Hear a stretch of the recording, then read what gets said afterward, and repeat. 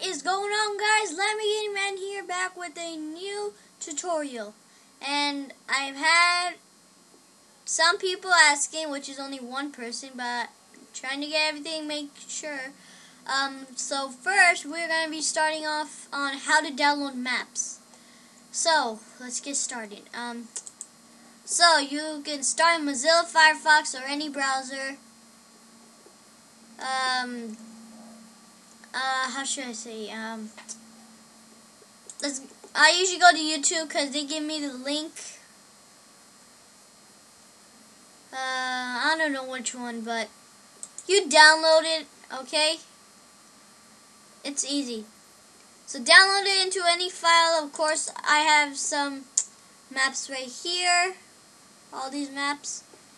Okay, so so you go into the search page and type in percent or not 5% and app data percent okay? And then you click roaming which take you to the Minecraft area.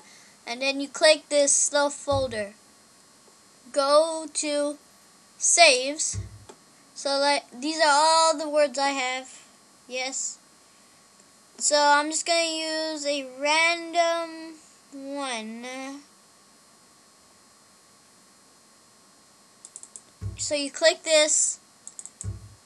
There's this thing, alright? But you right, left, right, right click. Um, so you,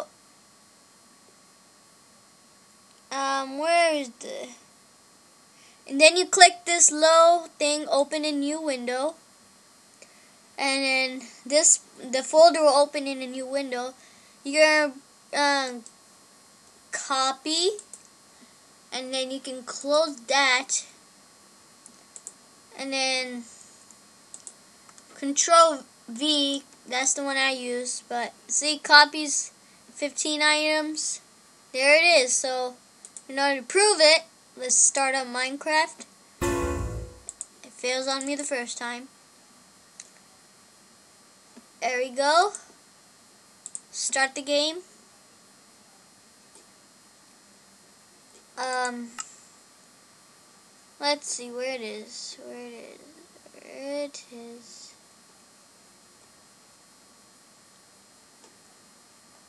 Hmm. Uh, it's Destroy the diamond comet. This is somebody's map. I'm just... Must be converted. Okay, whatever, but I'll just give an example. If you want me to start putting links to these um, download things, then just let me know. So if it load loads the world and is converting, whatever, um, it doesn't load. Sucks.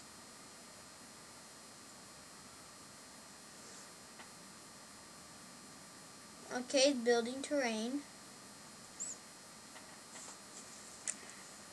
So here, see? Welcome to destroy the diamond comet map.